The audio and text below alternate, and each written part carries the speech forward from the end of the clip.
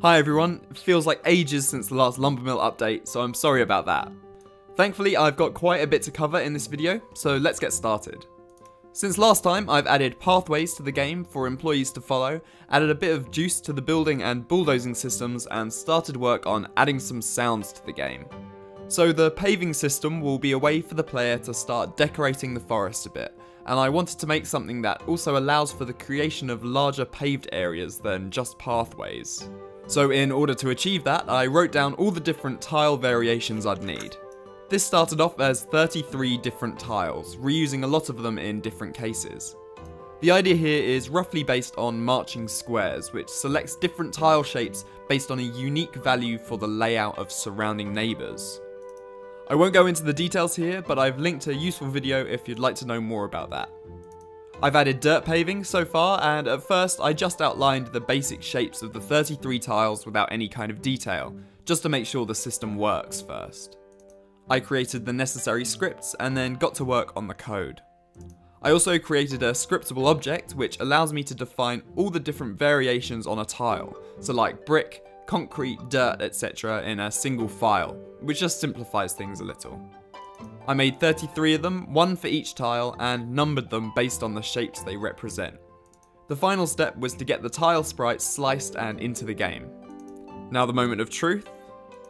Of course, these things rarely turn out the way you intended the first time.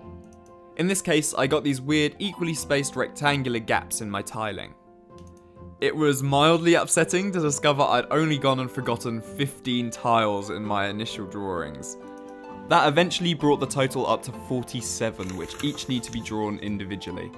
And that's not to mention I'd like at least three types of tiling to choose from. Right, so once I'd drawn the extra tile shapes and imported them to Unity, I found that while the problem was mostly fixed, there were still some special cases which needed sorting. Thankfully, this didn't call for extra sprites to be drawn. I just needed to add the different neighbour configurations to the tile files I made earlier, so the game knows what tiles should be used when. This was the end result before drawing the final sprites, of course. I made the shape sprites white just to figure out what colour I wanted the final sprites to be. I decided they should match the dirt colour of the map edges just to keep things uniform, before adding some details to a single sprite to see what it looked like. Having a look at that in Unity, I was pretty happy with how it looked and decided to give it a shot adding those details to all 46 of the others. I wanted a design that wasn't overly ambitious, as I don't entirely plan on spending my life drawing dirt. I just went for a bit of variation in the edges of the tiles and some pebbles and grass poking through the pathway. Partway through, I decided to add some extra variation details in the dirt colour just to add some texture. Unfortunately, it hasn't come out too clearly in the footage, but you can sort of see it.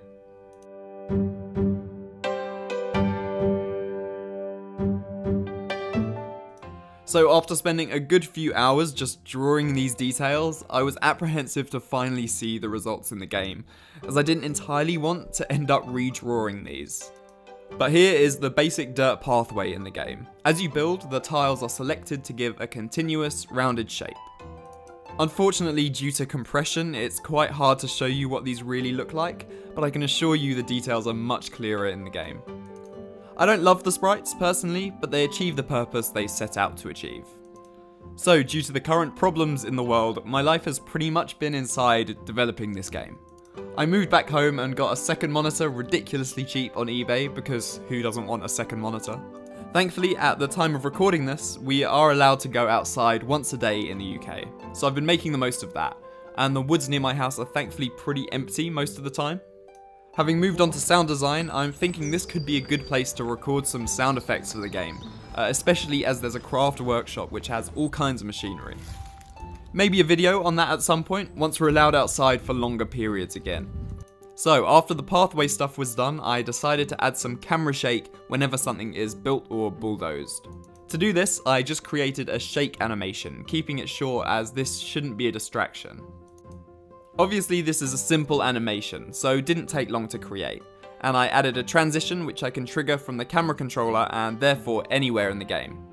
Here I'm triggering it whenever an object is bulldozed. This was the first attempt, it works, but the shake is definitely too big and distracting. So once I'd shortened it and made the movement smaller, this was the result. I think it's subtle enough to not be distracting while still offering some juicy feedback for the player. With that done, the final task was to get to work on sound effects. I did quite a bit of reading up on this, as there will likely be quite a few layers of sound in the game, and I wanted something that can scale well. Once I'd created a sound effect manager, I then created categories for each of the different sound effect types. The sound effect manager can then quickly select a sound at random from the selected category, passing it back to the audio source to play it. I got some quick test effects up and running, which sounded like this.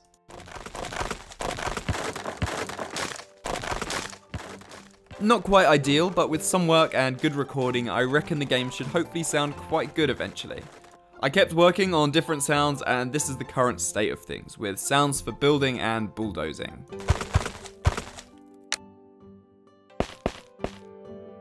I actually changed things slightly here with the pitch and volume slightly randomized each time a sound is triggered, just to add some extra variation.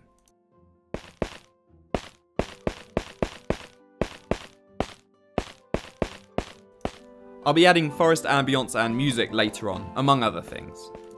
So that's it for this video, at least a positive for the lockdown situation is that I have an excuse to actually work a bit more on this game. So hopefully there will be another video soon. If you'd like the game when it comes out, you can wishlist it on Steam. The link to that is in the description. Special thanks for this video, of course, go to my patrons. In particular, I'd like to thank Ismail, Alex, Ethan Hart, Nick, Phil, Sheshpesh, Julian, Ech Gishki, Pet Patrolman, TJ Baker, Cameron E, Chris Naismith, Kieran Holroyd, and Nova. If you'd like to become a patron yourself, there are a bunch of Lumbermill related rewards on my Patreon. The link is in the description. If you like the video, of course, remember to subscribe, and I shall see you next time. Cheers for watching.